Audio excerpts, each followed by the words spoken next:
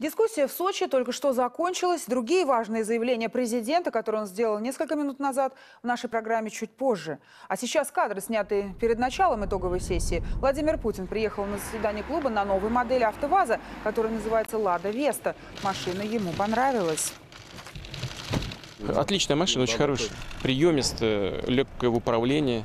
Общем, два варианта. И Есть с ручным управлением, и вот здесь вот смешанное.